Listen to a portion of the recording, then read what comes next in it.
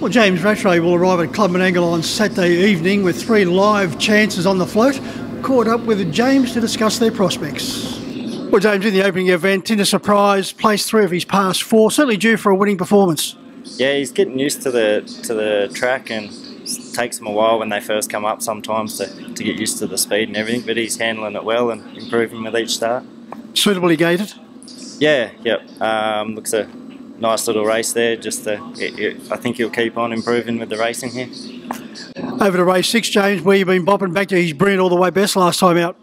Yeah, he's he's done a super job. He's his last last few runs here have been great and um, improving all the time. He zipped home in 26.5, so you certainly left your rivals gasping for breath. Yeah, he's um, he's got nice speed and he's starting to be, be pretty versatile now. So he's doing super job. James, is, he, is the type of horse that you have to let him roll along? Uh, probably better suited. He's sort of the more the more we do with him, the sort of better he's getting being versatile. But um, yeah, that's his go. Interesting this time around. Alto Orlando's got gate one, so no doubt we're looking for your back. Yeah, there's a bit of speed inside him there, so we'll, we'll see what happens there early. Over to race eight, the uh, trot Ravon Hall's drawn out wide.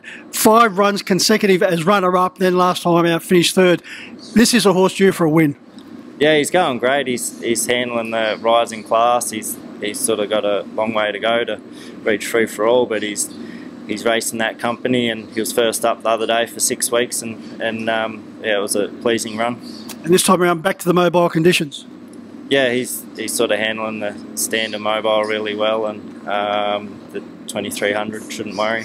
This is an open and tough race, but certainly does still look well graded. Uh, yeah, he does. He does this week. Um, yeah, he's. I'm sure he'll be thereabouts again. Three bright prospects. James, the best of them. Um, probably Ravon Hall, and um, yeah, Ravon Hall and where you've been bopping. And certainly Tinder Surprise, we wouldn't, uh, I think that what's the word there with Tinder Surprise, swipe left or swipe right or something, but certainly throw Tinder Surprise in.